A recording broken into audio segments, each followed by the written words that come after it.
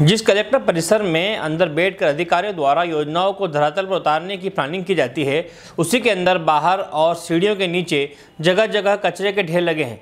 इतना ही नहीं, शौचालय इतनी गंदगी से तर है कि जिसमें संयुक्त कलेक्टर परिसर की स्थिति बस से बदतर होने लगी है।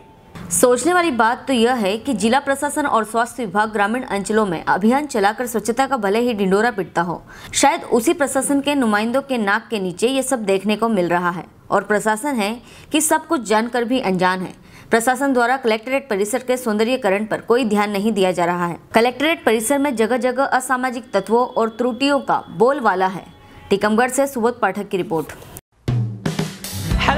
आप देख रहे हैं हमारा channel S W twenty four news हमारे सारे वीडियो सबसे पहले देखने के लिए आप हमारे चैनल को सब्सक्राइब करें और पास में लगे बेल आइकोन को दबाना बिल्कुल भी ना भूलें।